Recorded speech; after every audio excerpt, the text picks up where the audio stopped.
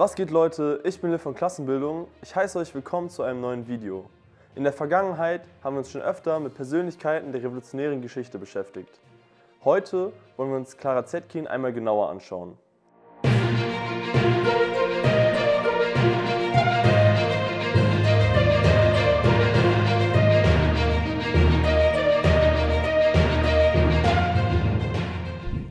Der Name Clara Zetkin ist mit Sicherheit vielen ein Begriff.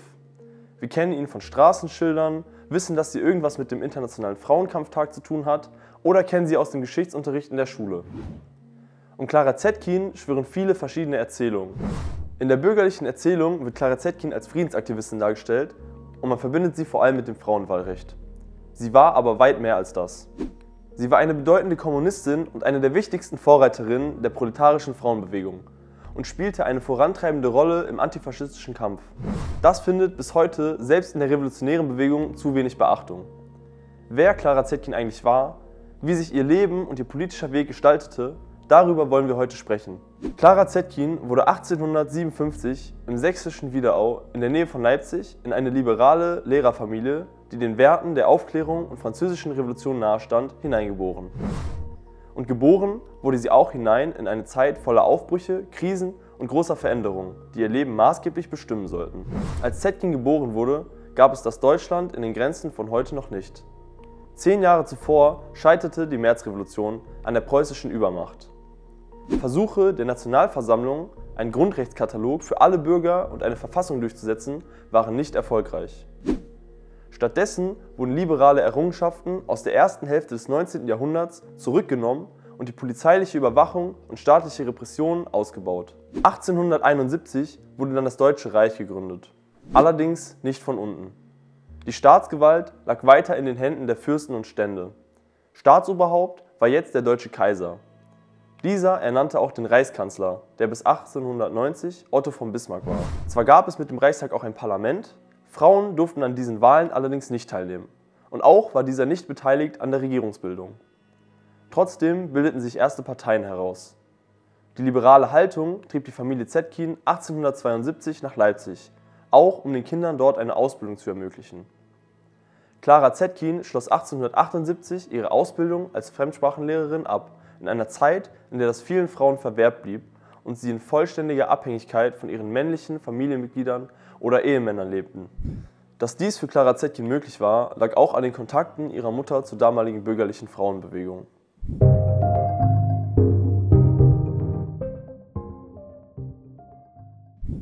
Aber auch die Sozialdemokratie lernte sie in Leipzig kennen. Über einen Studentenzirkel traf sie den russischen Sozialdemokraten und ihren späteren Partner Ossip Zetkin. 1878 trat sie dann der Sozialistischen Arbeiterpartei, der späteren SPD, bei. Das bedeutete für Zetkin auf unterschiedliche Weisen große Schritte. Einmal, weil es ein eindeutiges Symbol ihrer Politisierung war, aber auch, weil es einen Bruch mit ihrem alten Leben bedeutete. Sie entfernte sich von ihrer Familie und den anderen Lehrerinnen. Im selben Jahr, in dem Clara Zetkin der SPD beitrat, wurden die sogenannten Sozialistengesetze erlassen. Diese sollten die erstarkende Arbeiterinnenbewegung schwächen. Denn ab Mitte des 19. Jahrhunderts organisierten sich immer mehr ArbeiterInnen in Vereinen und Parteien. In Deutschland entstand dann aus dem Zusammenschluss des Allgemeinen Deutschen Arbeitervereins und der Sozialdemokratischen Arbeiterpartei die Sozialistische Arbeiterpartei, von der auch Zetkin Mitglied war. Die Sozialdemokratie sammelte sich in einer Partei, worin die Herrschenden eine Gefahr für das junge Deutsche Reich sahen. Das Sozialistengesetz, welches mit Mehrheit von Konservativen und Nationalliberalen durchgesetzt wurde, hatte das Ziel, die deutsche Arbeiterinnenbewegung schwach zu halten und ihre Strukturen zu zerschlagen.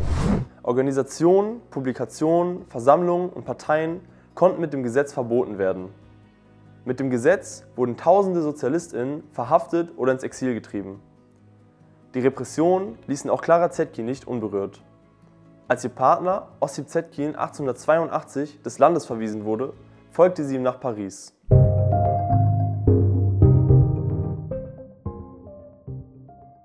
Clara Zetkin sollte acht Jahre im französischen Exil bleiben. Die Zeit dort bedeutet für sie aber keinen Rückzug oder Entpolitisierung. Einmal lernte sie dort russische RevolutionärInnen kennen, die ihre politische Arbeit ebenfalls aus dem Exil verfolgten. Auch begann sie dort intensiv marxistische Schriften zu studieren. Möchte man einen entscheidenden Punkt ihrer politischen Entwicklung im Exil festmachen, so war das wahrscheinlich ihre Rede über die Befreiung der Frau auf dem Internationalen Arbeiterkongress in Paris 1889. Dort legte sie Grundsteine für ihre späteren Arbeiten zur Beantwortung der Frauenfrage. Zentral war für Zetkin das Recht auf Erwerbsarbeit als Grundlage für die ökonomische Unabhängigkeit der Frau.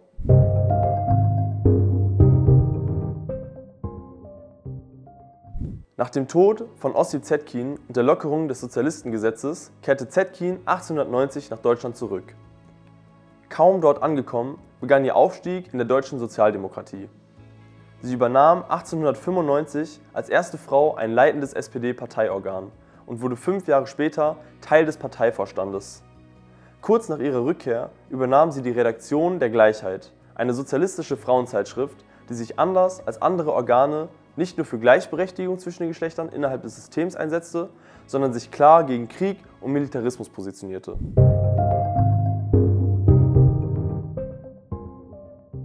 Schon das zeigt uns, warum wir Clara Zetkin nicht gerecht werden, wenn wir von ihr als Frauenrechtlerin sprechen. Denn mit der bürgerlichen Frauenbewegung ihrer Zeit hatte Zetkin wenig gemeinsam. Als Sozialistin hatte sie das Ziel, Frauen der Arbeiterinnenklasse für die Revolution zu gewinnen. Zetkin war davon überzeugt, dass die Unterdrückung und Ausbeutung der Frau nur im Sozialismus ein Ende finden würde und dabei nicht losgelöst von der Befreiung der ganzen Arbeiterinnenklasse betrachtet werden konnte. Die Emanzipation der Frau wie die des ganzen Menschengeschlechtes wird ausschließlich das Werk der Emanzipation der Arbeit vom Kapital sein. Sie war 1907 eine der Initiatorinnen der Internationalen Sozialistischen Frauenkonferenz und die Leitung des Internationalen Frauensekretariats bis 1917. Schon das zeigt uns, dass Zetkin nicht einfach als Teil der bürgerlichen Frauenbewegung gesehen werden kann. Noch klarer zeigte sich das an ihrer Haltung zum Frauenwahlrecht. Denn während für große Teile der bürgerlichen Frauenbewegung dieses im Mittelpunkt und am Ende ihres Kampfes stand, verstand Zetkin es als Mittel zum Zweck. Denn ihr war bewusst, dass auch das Wahlrecht die Unterdrückung der Frau nicht beenden würde, es ihnen aber ein Mittel in die Hand geben würde, um den politischen Spielraum zu erweitern und so mehr Frauen für den revolutionären Kampf zu organisieren. Dem Recht auf Arbeit sprach Zetkin eine besondere Bedeutung bei sah es als Notwendigkeit für die Befreiung der Frau. Als Teil davon sprach sie sich für die besondere gewerkschaftliche Organisierung von Frauen aus und auch sonst sah sie die Notwendigkeit besonderer Frauenstrukturen. Diese Überzeugung hatte sie nicht, weil sie die Frauenbewegung vom Rest der sozialistischen Bewegung absondern wollte, sondern weil sie sah, dass die doppelte Ausbeutung und besondere Unterdrückung der Frau eben auch besondere Anstrengungen und Mittel im Kampf dagegen braucht. Und so entwickelte sie 1920 Richtlinien für die Frauenarbeit der KPD und war ab 1925 Vorsitzende des Roten Frauen- und Mädchenbundes. Mit ihrer Ansicht, dass es für die Organisation von Frauen besondere Formen der Agitation sowie besondere eigene Organisationen braucht, stieß sie auch in ihrer Partei immer wieder auf Widerstand.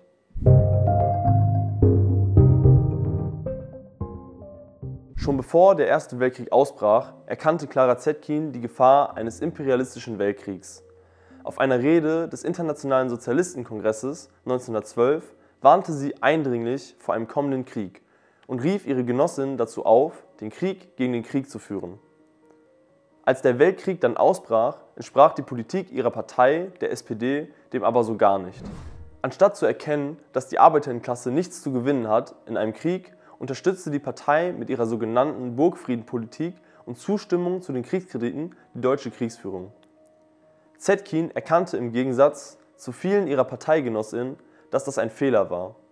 Als Reaktion auf diese Politik wurde sie eine der Mitorganisatorinnen der Internationalen Sozialistischen Frauenkonferenz in Bern. Sie war überzeugt davon, dass es Aufgabe aller sozialistischer Frauen war, Widerstand gegen den Krieg und die Instrumentalisierung der Frau für diesen zu leisten. Dieser Aufruf blieb nicht folgenlos. Wegen versuchten Hochverrat kam Zetkin für vier Monate ins Gefängnis. Trotz der ihr widerstrebenden Kriegspolitik blieb Clara Zetkin noch Mitglied der SPD.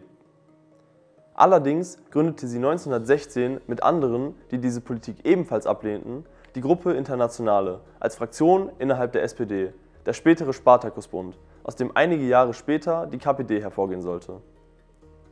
1917 war sie Mitbegründerin der USPD, der Unabhängigen Sozialdemokratischen Partei.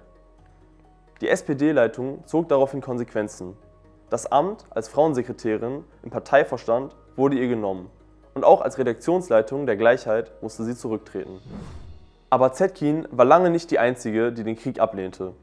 Mit den Kieler Matrosenaufständen und der daraus entstehenden Novemberrevolution wurde der Krieg dann beendet.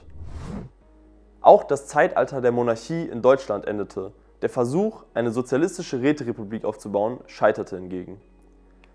Um den Jahreswechsel 1918-19 wurde dann aus dem Spartakusbund heraus die Kommunistische Partei Deutschland, kurz die KPD, gegründet. Die Revolution wurde von den neuen Herrschenden mit der Hilfe der SPD niedergeschlagen. Auch an der Ermordung von Zetkins Genossin Rosa Luxemburg und Karl Liebknecht war die SPD beteiligt. Ein Ereignis, was die Revolutionärin schwer traf. So kehrte sie im März der Sozialdemokratie endgültig den Rücken zu und trat der KPD bei. Dort wurde sie Teil der Leitung. Statt der Monarchie gab es in Deutschland nun eine parlamentarische Demokratie. Auch Zetkin saß für ihre Partei von 1920 bis 1933 im Reichstag.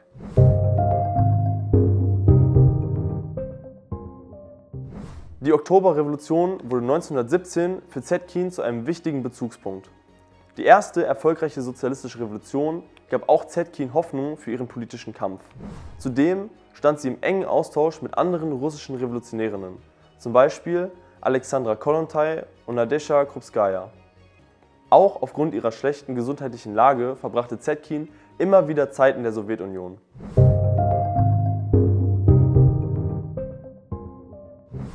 Genau wie Zetkin schon die Gefahren des Ersten Weltkriegs früh erkannte, so erkannte sie auch früher als viele ihrer Zeitgenossen die Gefahren und Anzeichen des Faschismus. Ihre Analysen stellte sie im Juni 1923 in einer Rede vor dem erweiterten Plenum des Exekutivkomitees der Kommunistischen Internationalen EKKI vor. Dabei ging sie von den Erfolgen des Mussolini-Faschismus in Italien aus. Sie verstand, dass dort eine faschistische Diktatur errichtet worden war und sah diese Tendenzen auch in Deutschland. Denn dort war die Situation durch die Ruhrbesetzung und die anhaltende Wirtschaftskrise ebenfalls zugespitzt. Es ging ihr nicht darum, die italienischen einfach auf die deutschen Verhältnisse zu übertragen. Jedoch machte sie zwei Wesenszüge des Faschismus aus. Ein scheinrevolutionäres Programm und brutaler Terror. Zentral in Zetkins Analyse war außerdem die psychologische Wirkung faschistischer Ideologie auf die breiten Massen.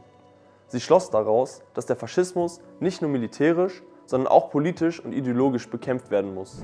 Dabei war Clara Zetkin keine Pazifistin. Sie strebte eine proletarische Einheitsfront an und erkannte Gewalt als Mittel gegen den Faschismus an.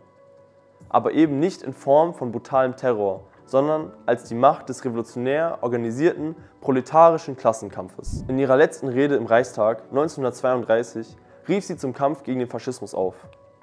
Dabei richtete sie sich besonders an Frauen, denn sie erkannte, dass im Faschismus erkämpfte Rechte wieder weggenommen werden und dass die Reduzierung auf die Mutterrolle zur Folge hätte. Clara Zetkins Leben endete am 20. Juni 1933 in der Nähe von Moskau. Sie erlebte die Machtergreifung des Hitlerfaschismus also noch, lebte zu diesem Zeitpunkt allerdings schon in der Sowjetunion. Dass ihr Leben und ihre politische Arbeit das Leben vieler Menschen beeinflusst hatte, zeigte sich nach ihrem Tod mehr als offensichtlich. Um die 400.000 Menschen kamen, um sich von der Revolutionärin zu verabschieden. KommunistInnen, aber auch bürgerliche GeschichtswissenschaftlerInnen sind sich einig. Clara Zetkin war eine wichtige Persönlichkeit in der deutschen Geschichte. Aber sie war weder Pazifistin noch eine bürgerliche Frauenrechterin. Sie war eine Vorreiterin im revolutionären Kampf gegen den Faschismus, für die Befreiung der Frau und für den Sozialismus. Deshalb berufen wir uns auch heute noch auf ihr Erbe, welches sie uns hinterlassen hat. Vielen Dank fürs Zuschauen. Falls ihr Fragen, Kritiken oder Vorschläge habt, schreibt sie in die Kommentare. Bis zum nächsten Mal.